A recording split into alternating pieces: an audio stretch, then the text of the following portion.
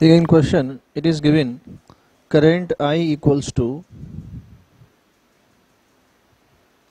I naught plus alpha sin pi t I naught alpha की value given है find the charge crossed through section of wire in three seconds charge हमको निकालना है so charge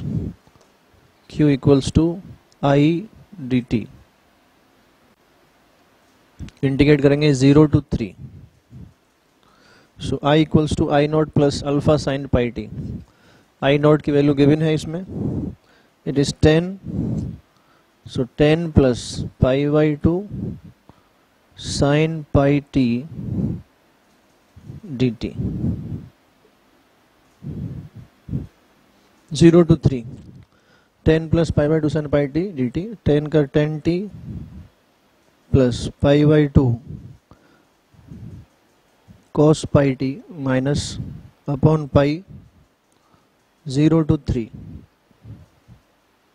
indicate करेंगे इसको। So Q equals to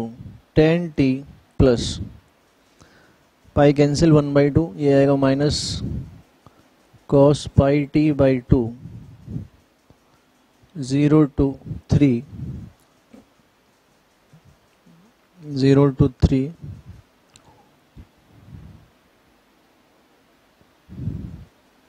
So thirty